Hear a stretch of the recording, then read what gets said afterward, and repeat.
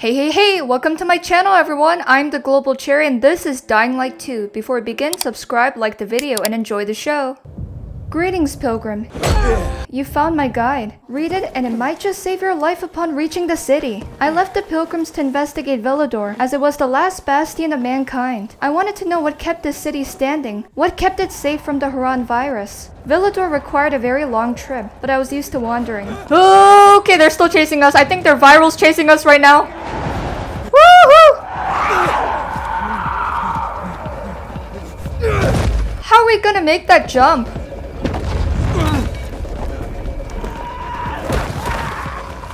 I called it. It's been 15 years, Spike, and you're still as strong as ever. Oh, thank you. Thanks. Five years later, who remembers Harran? I don't know if that city is even alive anymore. I'll finally hmm. find Jane. We'll set up a house. We're gonna live there. No one's gonna drive us out.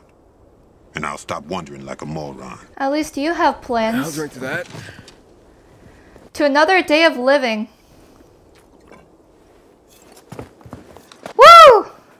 I came across a couple of mishaps, but I dealt with them. Couple biters. They were feisty but sluggish. Apart from the pests, the sights were truly beautiful. You can admire the sights, but not too long, Pilgrim. Nights are pretty dangerous, so it is imperative that you find a safe house. This is my view. Nights are for monsters, not for people. I had to fight a banshee who mistaken me for their ex.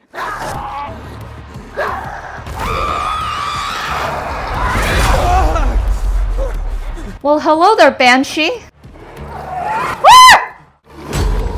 Oh. Ah! Stay back! Stay back!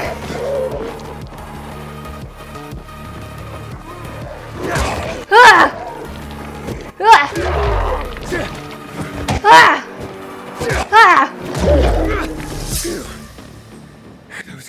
Brutality as a pilgrim was not an issue for me if it guaranteed my safety. We will keep hiding in the darkness for now, but one day we'll take the night back. I hugged myself to sleep with my new deluxe weapons and UV light found in my stash. Upon daybreak, I enter the city with the help of a mysterious informant. Do not be a loner in the city, because one man cannot face the world on his own.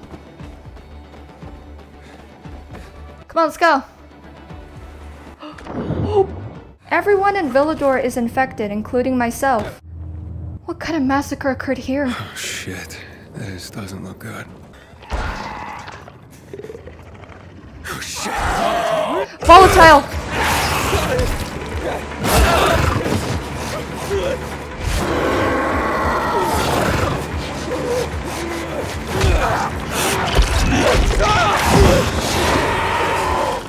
Oh, you found me.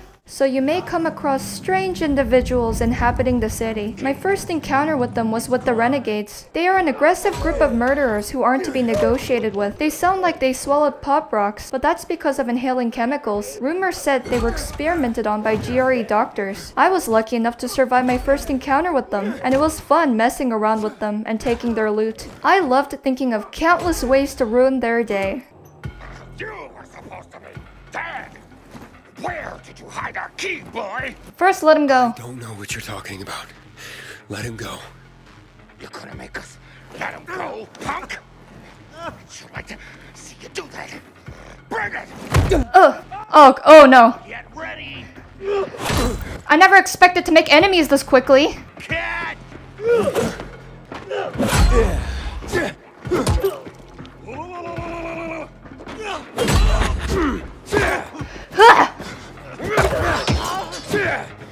Got us a real Say that to me again, dude. Let's try this out. Huh. I'm having a lot of fun with this. Wow, they're pretty crazy, but this city has their own share of psychopaths. These psychopaths happen to have their own Let 'em stories go. as well. Why did you betray me? This key is not yours. You can't. Where is it?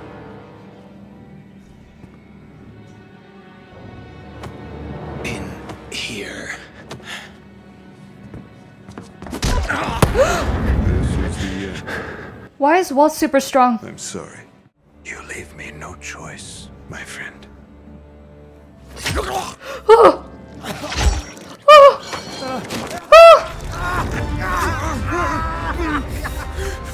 Someone's here. Oh, that psychopath!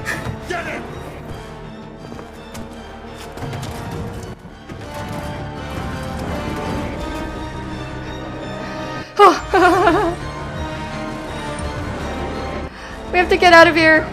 Our pilgrim group is pretty infamous in these parts, so don't expect a warm welcome, especially without a biomarker.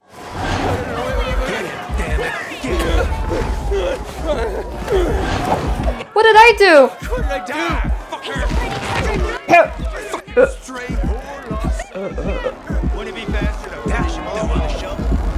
The citizens at the bazaar responded quickly to making me swing on the gallows, until my old friend Hakon helped me out. I helped this night runner back in the day when he was caught in the crosshairs of some virals. He introduces me to his kind wife. Is this your third one? Ow! He offered to help me obtain a biomarker. You don't know when you turn.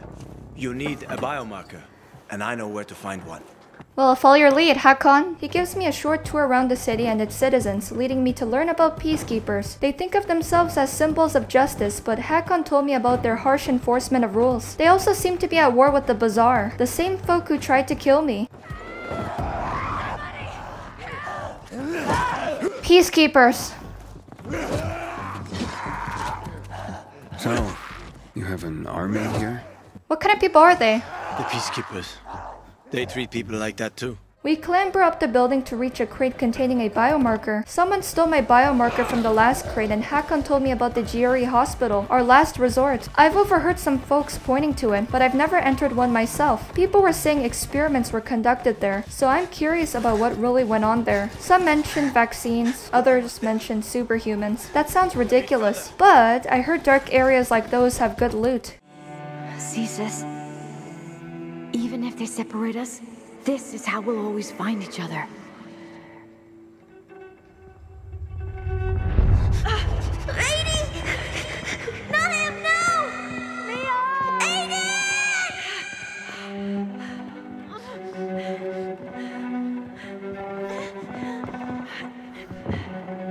Those are terrible experiments done to them. Dr. Waltz, we won't make it. The military will be here any moment. Wait. Close your eyes.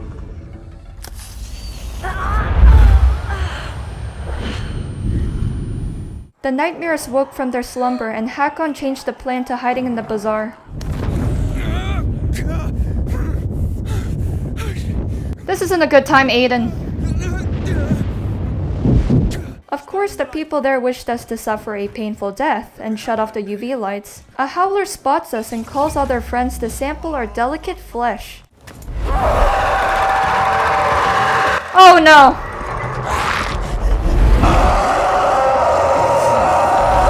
Hakon! It's calling, it's We need to get to Killian. Not wanting to be food at all, Hakon and I run for our lives to his Night Runner friend. It seems harder to outrun the infected as time passes. As a pilgrim, I never placed trust in anybody, but I didn't want my buddy Hakon to die. Not far now. We'll be safe there. Killian, it's me. Open up. No friends here, huh? Killian, keep them busy. I guess I will! Ah, it's hard. Uh, Hakon? Stop that.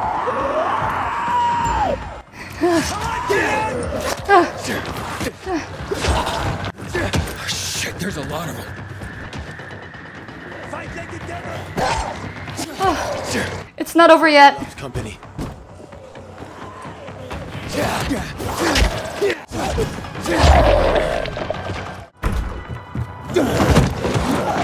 Hakon, watch out!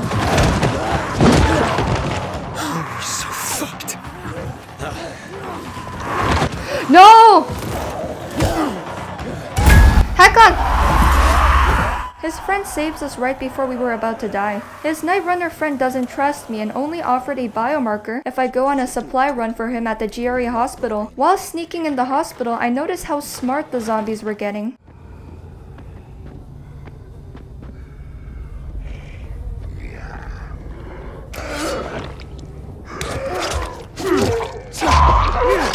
There were also some dormant infected within the hospital napping while standing up. However, there were a lot less of them at night, as the others are strolling in the streets. This mission is easy. I lied, it's terrifying. Ah, ah, ah! Alright, get the elevator open.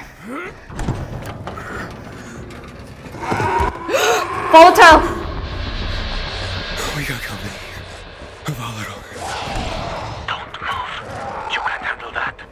Hold your breath. No, I've seen this fucker.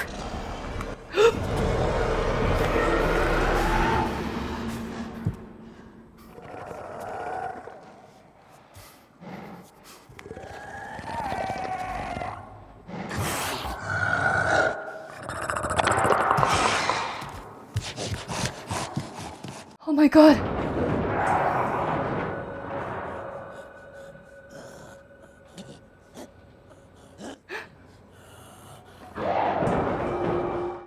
You suppressed the memory, like I did of my third wife. Look, I'm sure the infection ain't helping. Chin up. We'll find the marker and clear out. Hakon, now's not the time to talk about your third wife. Yeah, thanks. While searching for the crate, I dug some scrap from bags and lockpicked some doors because you must never have shortage of resources no matter what. I managed to find the crate without getting nibbled on, and Hakon gives me my biomarker to get around the city. I even got an inhibitor to strengthen my stamina because my body is weak as a twig. Sorry about this. What? Wait, what? Sorry about what? About that. On behalf of all its Oh, the biomarker injected into his bloodstream. I christen you a citizen of Villedor. You're about to turn. Get into the light fast. Okay, let's go. Things did start to go downhill from there, but I got used to cheating death.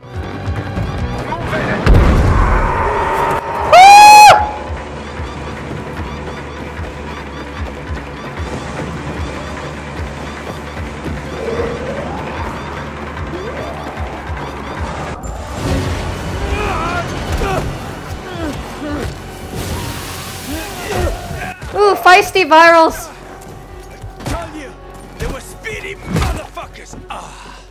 Wait, what about that volatile?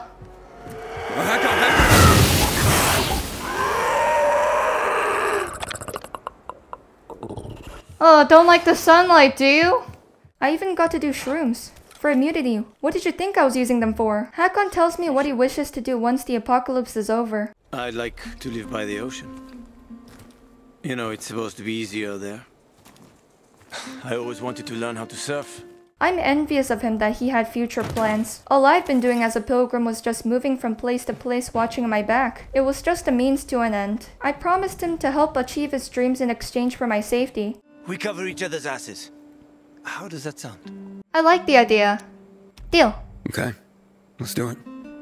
Awesome. Deal. I wanted some time to myself before going to the bazaar and exploring the city a bit. I notice how lifelike everything seems in a dead city. Man, I don't want to end up drinking my own pee. Someone's got to do something about the water situation. I'm sorry, what? Why did you start making potions? The city's doomed. Maybe too lifelike. I take in Trinity Church and meet the bazaar's people before Hakon contacts me. This place looks astonishing. The people here seem very free spirited. Survivors, they call themselves. Hey, watch where you're going. Whoa! I meet an inventor named Carlos who welcomes me to the bazaar and requests me to help him with his goat experiment. He stole my belongings, but he said it's in the name of science. Okay, Bill Nye. He creates an electric fence to contain the goats, but ends up turning them into lamb. His mentor Alberto promotes him for his mistake to becoming a craft master and offers me a gift to give my weapon some spice. Oh, Carlos. Be a waste of time. Why? I don't think so. This is very, very. It has big, huge You're saying it has potential. potential. Yes. It could be an effective weapon. I feel like my time at the bazaar is going to be very interesting. After being alone for so long, I got to create awesome experiences. Is this what it feels to be human? Living life to the fullest? Maybe with our knowledge of the outside, we can be a true wind of change the city needs. Only time will tell. If you want more guidance in the city, it will usually cost you fresh water, weapons, and supplies. But since we're both pilgrims, it will only cost you this much. Thank you, and that's all. As a 1000 subscriber celebration, I made a scary campfire segment pertaining to Dying Light 2's story. Colleen, why? Why would you do this? You were the last person who could save the city. Without you, the city will die. There's nothing left here worth saving anymore. Everyone inhaled the gas and are clawing at each other like rats. It's all their fault. They released their life's work to the public unfinished and thousands paid for their mistake. and it looks like I'm paying for that mistake too. We wanted to save people, but all they cared about was profiting off the rich. What? So is it okay for people of higher status to live at the cost of others because of money? What about people with families? Children? They're all dead because of them. And they're being depicted on the news as a hero for what we hope to accomplish together as scientists. The infection didn't ruin the city. Consumerism and greed did. I know we finished a vaccine together and you left the formula to me. You sacrificed your life for this cure and left it to me to save the city. But Colleen, I don't want this anymore. I don't want this responsibility. Why should I save people who never listened to a word we said? The ones who selfishly sacrifice others for their benefit. The Harran virus is not the real virus. They are. And I want them to pay tenfold for what they've done. It makes me angry seeing them smiling proudly at the ball, counting cash in their hands. Even if I could save them, it's too late for me. Huh, my hands are becoming claws. It looks like I really am becoming a monster. I can envision the tales they'll write about me. The elegant freak in a dress with claws who preys on their victims and scratch. Scratch. I may be the cure, but there is no one left worth curing.